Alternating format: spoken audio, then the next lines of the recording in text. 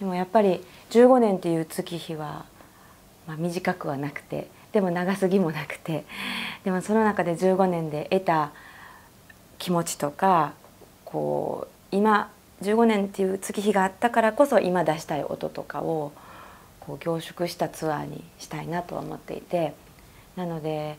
デビュー当時から応援してくださってるファンの方にも喜んでもらえるような15周年の15年の集大成も見せつつ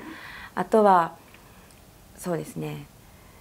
なんかそこにこう甘んじることなく それ攻めの姿勢をこう伝えたくて結構新しい新曲をもうまだ世に発表してない新曲を多めにセットリストに入れたりとか、まあ、未来を感じてもらえるセットリストにはいしました。